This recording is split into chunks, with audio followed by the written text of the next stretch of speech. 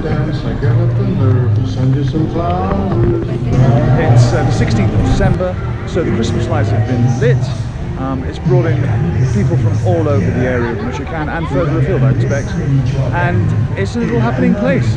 Of course, I'm in Pátzcuaro, and um, that's in the Michoacan area of Mexico. Highly recommended uh, visit if you are in Mexico. It's on the World Heritage Site as one of the top 100 destinations to visit. And um, the big thing about it is not only is Pátzcuaro beautiful, the arts and crafts are lovely and the people are just very warm and open to chatting with you and having a you know having a good time. Maybe it's the season or just maybe who they are. I think they probably are just generally lovely people. All right, so uh, I've got lots to show you. So let's get to it.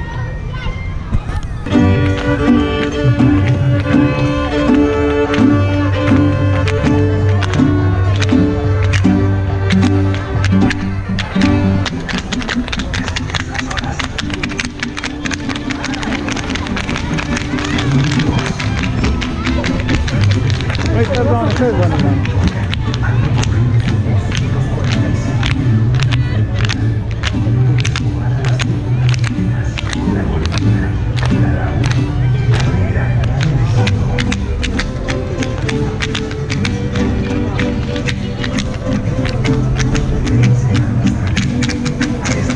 So, por favor, ¿es eso, eso es un tradicional para de Michoacán? Baile de viejitos de Michoacán. Ah, bueno. Desde Jarácuaro, desde Jarácuaro. Es la fundación de la danza de los ¿Y viejitos. dónde es tú?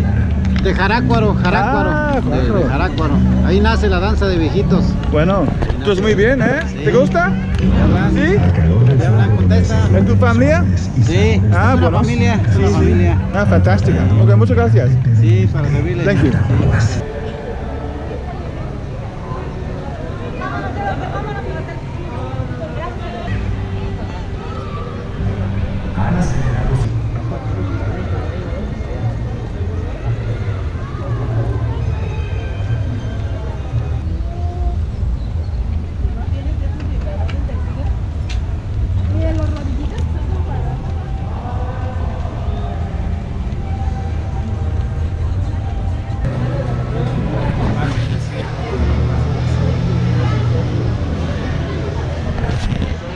So I'm a bit of a break, a little tequila. Um, the tequila, tequila is actually um, the tequila, uh, sangre, uh, which is a sort of a tomatoey mixture, and lemon. So um, yeah, it works well. Okay, well I'm just down for dinner um, to have some uh, fajitas, norteña de pollo. Um, as you can see, really good.